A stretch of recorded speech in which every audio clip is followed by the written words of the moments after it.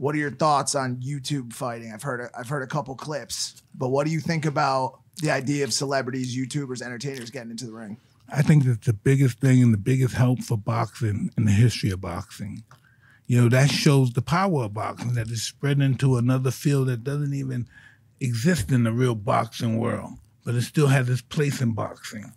Do you think it does any, um, and this is just me just channeling words of commentators, do you think it does any disservice to the sport? Do you think that it in any way discounts Hey, the work? hey, there's been guys that um, cheated, took all the lead out of their gloves. I bit somebody's ear. So how, how, how low boxing's gonna go? Right, right. No, no, really, really. right, right, right, right. Boxing's only going up. Right. It can't, you know, you can't take it no lower.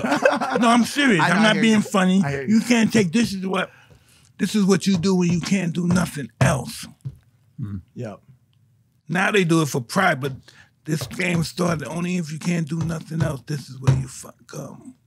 So you think this is necessary for the business, for the for the sport of Absolutely, boxing? absolutely. But these guys are these guys are college graduates. These, you know, that's what makes it good. That's what brings it. It, uh, it broadens the horizons of boxing. It broadens people horizons, Hmm. and they understand boxing more as a skillful art, more so than some kind of um, brutality, pugnacious pug around just punching people.